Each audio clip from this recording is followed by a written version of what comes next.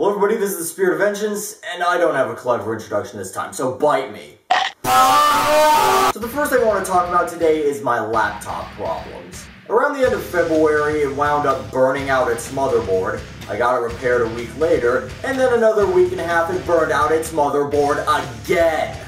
I got it back a couple days ago, and that's why I'm doing this update video now, just to get something up while I still have the chance. Well, that was the bad news, now it's time for the good news. You know how I mentioned some time ago that I was thinking about going to MomoCon? Well, it's official. I'm going. It's going to be held from May 25th to 28th in Atlanta, Georgia, and I'm not the only one going. A lot of my friends like the Trees Apprentice, Kitsune Hawk, Alex Roshan, and even Rabbid Luigi are going to be there. As far as doing major videos go, the motivation isn't really there, but I'm still thinking about doing a prime noise on Rio Grande Blood. Well, that's all for now, so I think, hang on a second.